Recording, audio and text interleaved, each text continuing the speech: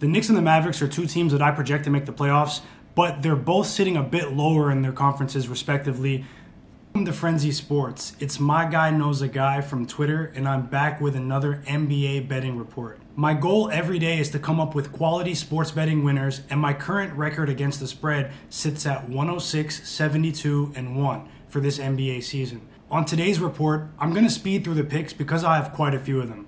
My first pick of the day is the Utah Jazz minus 10 on the point spread against the Indiana Pacers. Now, this game is a bit different than most because it's an early tip off. The tip off is 3 Eastern.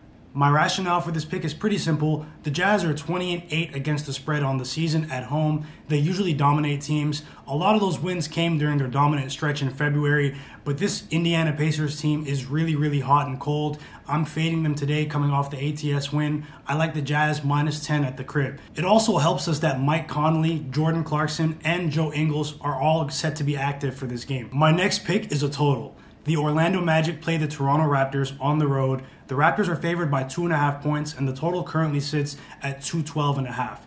This is another game that's implicated by injury reports. We've been given reports that Kyle Lowry will be out with rest tonight, along with Pascal Siakam, OG Anunoby, and potentially Gary Trent Jr., who's listed as doubtful. Fred VanVleet, who's a potent offensive player, is scheduled to return. On the Orlando side of things, Michael Carter Williams is listed as out in this game, and Mo Bamba is questionable to return, a player that has a bit of a defensive stature. My pick in this game is the under on the total, 212 and a half between the Raptors and the Magic. I think the thin lineups that these two teams are putting out tonight is going to be detrimental to the scoring. I'll be even more confident on this pick if Mo Bamba is activated. My next pick is another total. And if you're wondering why I've been picking a lot more totals recently, my system in the second half of the season has proven to be pretty accurate when predicting totals. I'm seven of my last eight. I like the under in the total between the Knicks and the Mavericks tonight, which currently sits at 211. This is a big game tonight. I'm expecting a playoff type atmosphere, a Tom Thibodeau type game. The Knicks have gone under the total on the road at a rate of 11 overs and 18 unders. I don't think that bodes well for them. Combine that with the fact that the Mavericks also tend to go under at the crib, and we have a recipe for a good under in this game. I have two bonus picks for this NBA betting report, and they're both player props. I like DeMar DeRozan to score over 21 and a half points against the Portland Trailblazers tonight.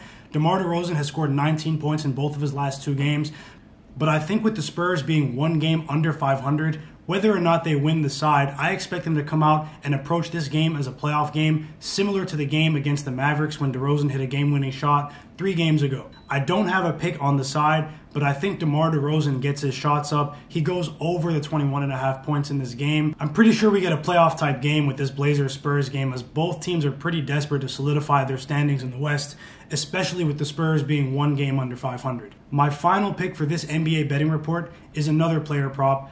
Kyle Anderson over 11 and a half points against the Chicago Bulls. Kyle Anderson has gone under his point total in the last two games. He has averaged 14 points a game in his last six road games. The Utah Jazz minus 10 on the point spread. The Raptors and the Magic under 212 and a half. The Mavericks and the Knicks under 211. DeMar DeRozan over 21 and a half points and Kyle Anderson over 11 and a half points. If you can, subscribe to the Frenzy Sports YouTube channel below, hit the like button, turn the notification bell on, and follow me on Twitter at my guy knows a guy, where I cover the NBA and sports betting in general all year.